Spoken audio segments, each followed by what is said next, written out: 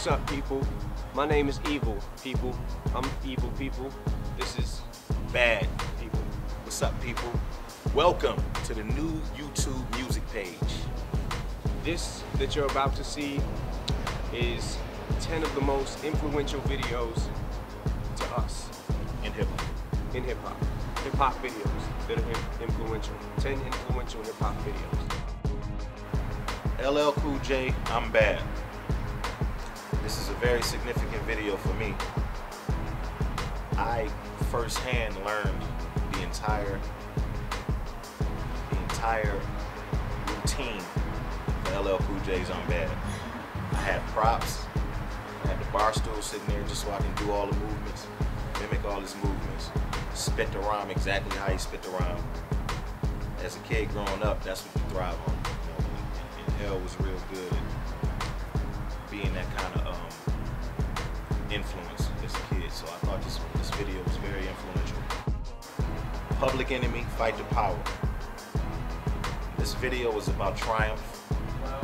Um, it really reminds me of the movie Do the Right Thing, which made a huge impact just as a film on urban culture.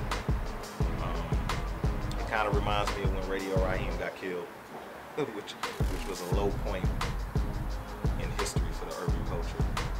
least from a film perspective. We hated it. KRS-One, Boogie Down Productions, My Philosophy. I personally felt like I needed to choose something from KRS-One's catalog because he's such a detrimental instrument in hip hop. He is hip hop, you know. So um, I think everything that he's done is great, visually and audio. So I chose my philosophy. Um, it is what it is. It really needs no introductions. NWA, straight out of Compton. I mean, what what can I really say about these guys? I mean, they they push they push so many different barriers. They cross so many lines. I actually got in trouble for listening to NWA's albums back in the day because of the profanity. They let me know that it was cool to let your inhibitions go and just really go hard. Naughty by Nature, Hip Hop Hooray. This is a time in hip hop where it was it was cool for, to have fun in hip hop. It was very lyrical, but it also was a fun record. I felt like that it was leaping over a lot of hurdles. You know, it was um, on the cusp of the whole East Coast West Coast beef.